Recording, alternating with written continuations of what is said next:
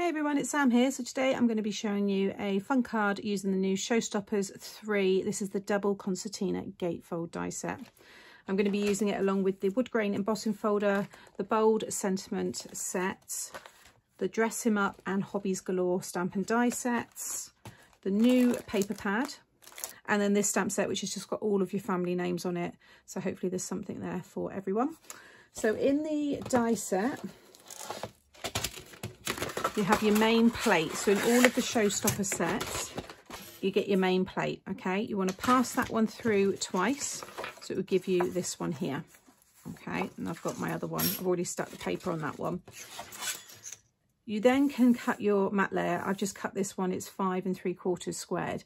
I, there's not a die for this because the size of those dies are big and it really does bump up the price. So instead, what I've done is I've put in the option that if you add a score line through the middle of this, you have a mat and layer just here, okay, which will fit on one half of this and it will allow you to create a different look again. So I've got this card idea. So when you take it out, you have this concertina style, okay? And again, you can see that sentiment to a great guy, have a fab day. And it's got some more of the icons there. So that one is either already on the channel um, or it will be on soon. But I just wanted to show you that way. And then I'm going to show you this way. So you don't need those today. Like I said, just cut yourself a piece of five and three quarter squared and um, stick that down. Then you get this die here. You want to pass that through twice and it will give you your two strips.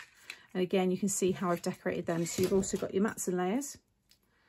So you just want to cut them out and decorate however you want. So you can see the images there and I've already added some glaze to some of them. I think they look really cool. And I've just kept the colours that I've used to match the papers. So I've got my ooh, other piece here. So I'm going to stick that one down over the top. Now on one of these you want to cut this tab off because you only need it on the one. So I'm going to take this one here and really neatly, in fact, I'm going to use my trimmer.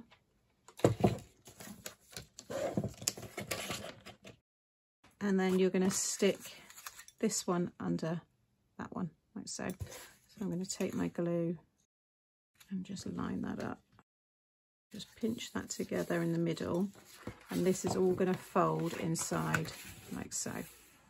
So whilst that's drying, I've then cut all of these mats and layers. So piece of five and three quarters squared, then five and a half squared, and then this is five and a quarter squared. You can see I've embossed the chevron print onto that one. And then I've stamped the happy birthday from that set, and then some more of the icons there with the stars, and that's going to sit nicely on top. So I'll get all that stuck down.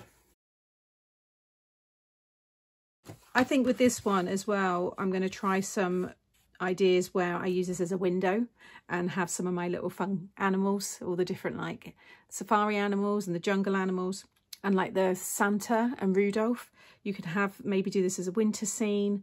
I think it would work really well. So you don't always have to add this piece if you don't want to. Okay, so now onto these. You want to make sure that you've got, you start with a mountain fold, mountain fold, valley fold in the middle, and then finish with two mountain folds. So you should have that shape. Okay. Decide what you want to be on the top and the bottom and then feed this through. So it's like that. Again, feed that one through like so. Okay. Okay. So actually I'm going to take one out. I think it's easier to do it one by one. So it's kind of up to you where you want to stick these, but I'm going to stick, add my glue here and then stick them about an inch from the score line here so once you've done this a few times, you'll kind of get used to where, you know, positioning it. But I think an inch means you can see all of the images quite nicely there. So I'm just going to take my glue, again, add a little along the tab there. And what you want to make sure is that when you lie, if you lie it flat, you want to make sure you've got a gap, a equal gap across along the top there and the bottom, okay? So I'm just going to pull this down, fold it under. And it's about an inch from that score line there. But you want to make sure it's straight. So I'm just going to move that a little bit. There we go. So whilst that one is drying, I'm going to stick this one down at the same time. So again, just run my glue along. And then I'm just going to line it up with this one. Again, just making sure that you get it nice and straight and an equal little gap along the top and the bottom there. Now, if you bring this one up and this one up and fold the card over. So I've folded this piece in half. And now you can add your glue along the top like so and then close the card. And just give that a minute to dry. Okay so once you're happy that's all secure. You can open it up and you get your concertina pop out there. I think it looks really fun. And then I've just got my sentiment here to go inside. You could cut another piece of white card to go there. I'm going to leave that blank just to show off the papers, but you could cut another piece maybe to write your message or cut a piece of five and three quarter square to go on the back and have that as your area. But this one here is on a piece of three and a quarter by um, about three and a half to a great brother. And again, I've used some of the stars there. Could always have maybe a photo of them on the other side. I think that could look quite cool. I love having photos of family members on cards. I think it really is a nice way to personalise them. So I'm just going to sit that one in the middle there. So yeah, you can imagine photos maybe you know, of them. It could be their eighth birthday and you have one picture of them for each year. You could have sentiments in there. As I showed you on that other one, you can have words going right across, but you have to bear in mind you've obviously got that bar through the middle there that can get in the way.